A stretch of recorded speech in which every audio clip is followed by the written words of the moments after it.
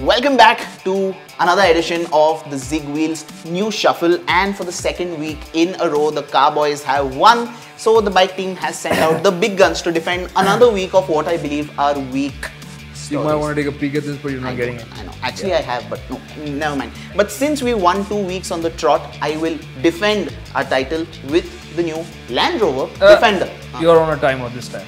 30 seconds, go. Okay, new Defender, it's back, right? That's the big highlight. It is still uh, unabashedly boxy. It still has that flat bonnet. It's got beautiful alpine windows, and it is still a Defender. So 291 millimeters of ground clearance, 900 millimeters of water wading depth and insane approach departure and breakover angles and because it has learned from its Range Rover sibling it luxurious as well done But does it have more in terms of off-road capability compared to the Range Rover? not really Yeah. And does it really look like a Defender should as in modern day iteration? To me, it looks like a 10 year old concept that's been launched today. That face, uh, the DRLs remind me of a uh, Maruti?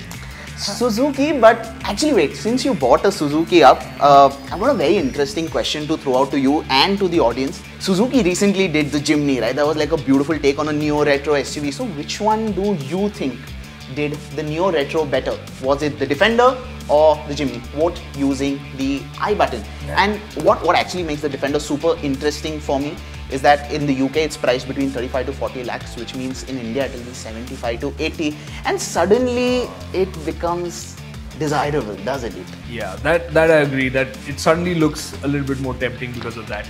But while the Defender is defending Land Rover's heritage and its reputation, hmm. here in India, we're defending planet Earth, and that's with the first BS6 two-wheeler in India. 30 seconds. Go. All right. And the one I'm talking about is Honda's Activa 125. Now you would think, well, you would think that it isn't all new, but it has an all new engine. The engine is all new. It's got a new way of starting up. It's got a. It doesn't have a starter motor separately.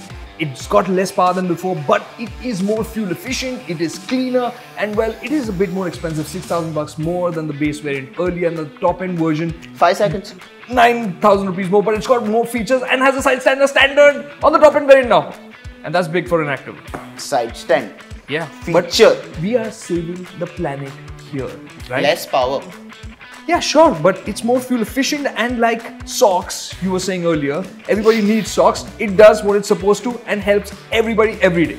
But wait, if you're talking about a Honda that saves planet Earth, that is not the only Honda that is saving the planet Earth. I've got one too, and it's got the right amount of wheels, four, and it can seat five people in comfort. And Choto doesn't have to stand on the apron. So yes, the next gen the. Honda City. Oh, come on. What about it? Okay, so Before you start, timer starts now. Okay, so the next gen Honda City is, was recently spotted in India. We first spotted it in Thailand about three months ago. Difference compared to the Thailand model, different alloy wheels. That one had a lip spoiler. This one doesn't. It looks longer, wider than the old one. 1.5 liter petrol, maybe mild hybrid, 1.5 liter diesel, both BS6 compliant. Petrol CVT confirmed, diesel CVT maybe not so much. Prices 10 to 15 lakhs. Auto Expo 2020. Five seconds to spare. Can you beat that? I'm going to counter that with TVS's Jupiter Grande Edition. 30 seconds. Go for it. Right, it's the more premium, most premium Jupiter that you can have today. It has machine finished alloy wheels, it's got LED headlamp, it's got LED tail lamps like the city is hoping to have again, and it has you know beige color panels on the inside, maroon a maroon seat. So it's basically more premium. It has the Bluetooth connectivity feature like on the 10 and most seconds. importantly, it has a color called Tech Blue. Would you think of Honda introducing that color on the next generation city? Nah, but Winner. 30 seconds now. Oh, Winner. you know, you know what? I'm going to counter his tech blue with something that he really likes, and you've got no defense for this. The Hyundai WRC blue. Oh yeah. Tell me you have a comeback for that. One sec, one sec. We'll see where we're going with this. Your time starts now. Okay, Hyundai i10 N line. Thing you need to know, uh, UK spec, so it's not the Grand i10 N line, it is the i10 N line. Uh, 1 litre turbocharged petrol engine from the venue, not 120 horsepower, 100 horsepower, 172 Nm, 5 speed manual, proper, proper hot hatch. Best bit, Hyundai India says it will come to India in the next few months, so power to the people. I have five seconds to spare, so I'm just going to talk really slowly and annoy him. Done. Time.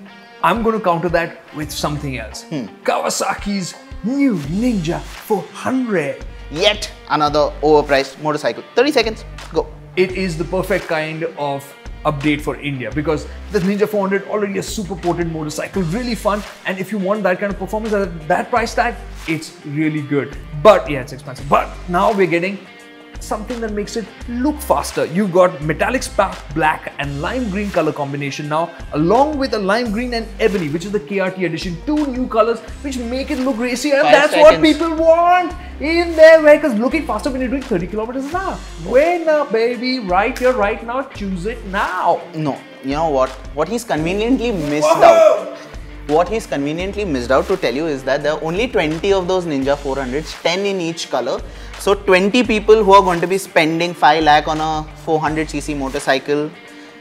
How Yeah. do you fancy the most It's avail- expensive? It's available now. We're still dreaming about the i10 N line. So people win. Here. Okay, okay. Yeah. People who have Real. the kind of money for a Ninja 400, uh, how about the most expensive Fortuner that you can also have right One now? second. I'm going to start the timer. Ready, Max? Yeah.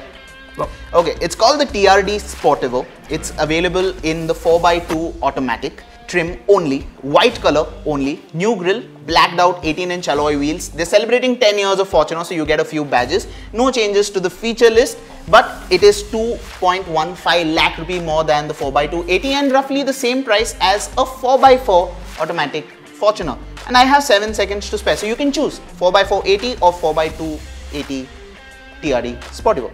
Done. I don't know if he was making a case for it or against it because. Oh, come on. Uh, one sec. For the two and a half lakh rupees extra, Huh. what's really new?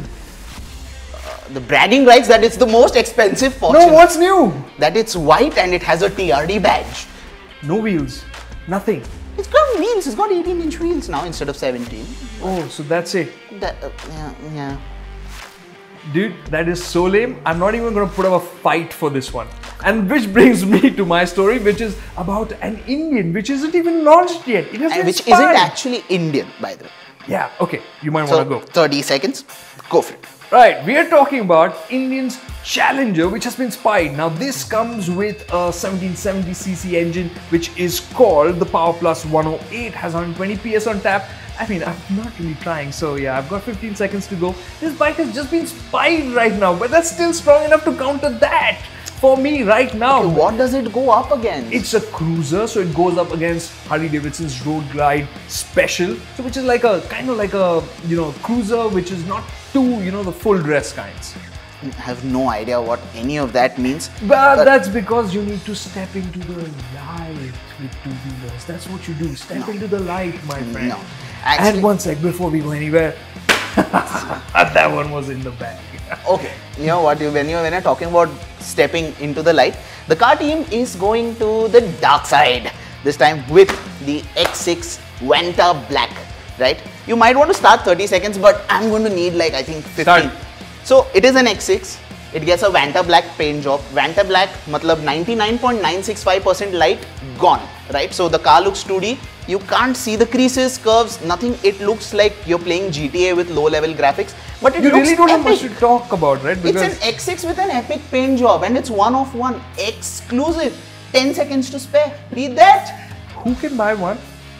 No one. No one. BMW owns one. That's it. That's it. all Why have they made it? Because it looks cool. I think he is secretly working for the bike. Who would pick that story as, as any story to fight with over here? It's I've got lights in its grill. It is cool. Uh, I'm going to talk about Ducati's Monster 1200S black on black. It Go. even sounds cooler than black. 30 seconds. Just go. Alright, so it's Ducati's Monster 1200S. Simple enough. It's 147 horsepower, and Ducati's Monster has been an icon for decades. Hugely appealing motorcycle, practical, fun, sporty. Ducati is Italian, and the best part, with 15 seconds to go, you can buy one if you want one. It's got black details on black, as the Vantablack would want. But it also has the bonus of having red highlights where required. Five seconds. It's Italian, it's Ducati, and it is a win, my friend. And no, it's not. I'd rather have the Diavel. But he uh, said it. He actually said that. Uh, so I think that is it for this edition of the News Shuffle. So bikes Winner. or cars, you get to vote. And as always, I think we need a hat trick for the car team this time. So go and pin the I button. You'll see the first option, which would be cars. And if I have my way, the second option will also be cars. so you can vote for car for the car team twice. So anything you got to say, Kaz? Yeah, stay tuned to ZigWheels. We've been bringing our action here, and like for instance, we've got news from Porsche. We've got the 911 review coming up. We've got a little bit more details from Porsche, and of course the Renault Triber. We're going to be driving that soon. Arun is going to be going out there and checking it out and giving you a first drive impression Yeah. of that. Aside from that, if there's anything else that you'd like us to do, let us know in the comments. We're always glad to get your suggestions and work things out. Yeah. So I think that's it for this video. Thank you so much for watching and vote for the car team.